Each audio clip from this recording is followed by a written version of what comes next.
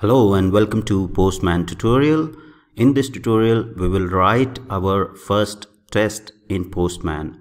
So in last couple of tutorials, what we have seen is the Postman setup and then the basic CRUD operations and understood a lot about the functionality of the Postman and how you will navigate through the Postman.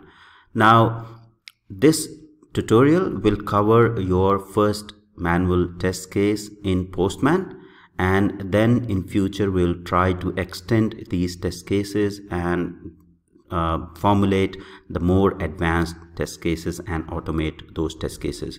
Now in Postman to start with the test case so we'll uh, pick a request here so we'll say pick get workspaces right which is a get request to get the workspaces. So if you send this request, you will get a response that uh, is a JSON response and it provides the details of the workspaces that are present in my account. Now you will see the status 200 okay. So let's go ahead and see the test results. So there are no tests for this request, right? Because we haven't written any tests yet.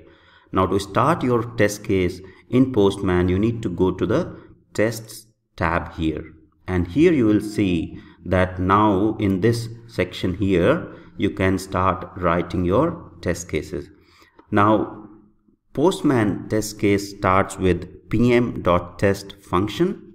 And before we get into details of that function, let's use the snippets that are present in the right hand side already and use these to write our first test case. So what we'll do is we'll just use a snippet. Status code code is 200 right? So if you click on this it will bring on the whole code that is required to test the status code is 200 or not okay? So now here if you see pm.test is the function that is used to write test cases in postman. And pm.test uh, accepts two parameters.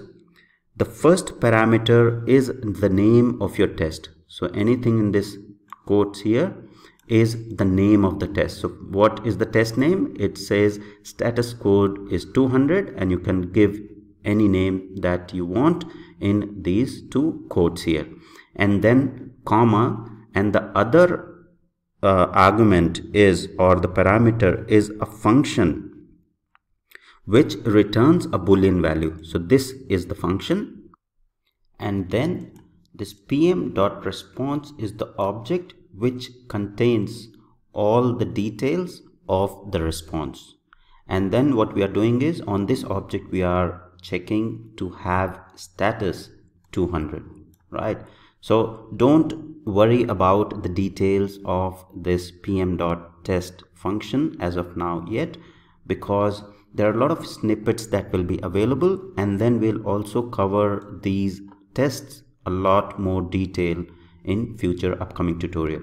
So for this tutorial just remember that any test in Postman starts with pm.test function which accepts two uh, parameters first one is the name of the test and the second one is the function which returns a boolean value of true or false. So if the response this object or the response that we are sending here as part of the get request has the status of 200 then it will return a true and that means the test case has passed. If the response doesn't have the value or the status code as 200 then the test will fail. So this is very simple test case in postman. Now let's try to run this test again and see how it returns or how it looks on the postman.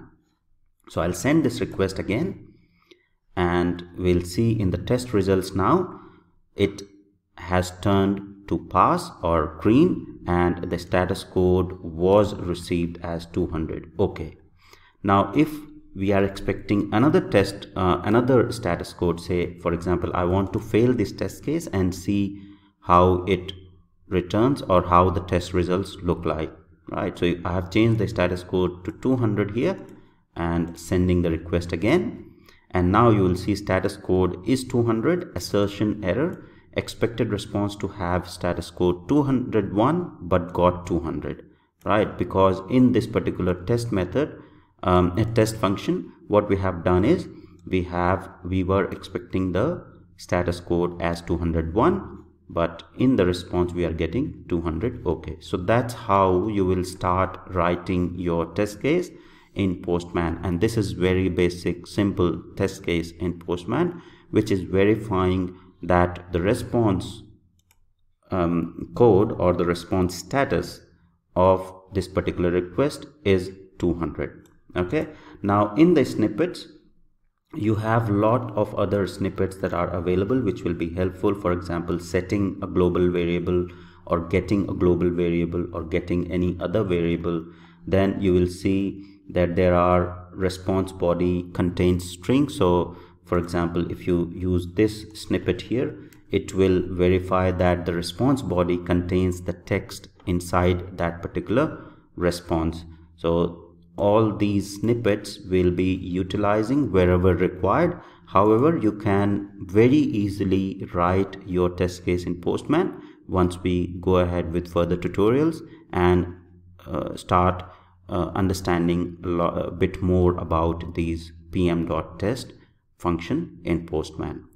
So in this right hand side you can if you don't want snippets to appear all the time you just toggle it and the snippets will go away and you'll have more space here to document your test cases. So that's pretty much all about your first test case in postman. Hope you like the tutorial. Please do like share and subscribe and thank you for watching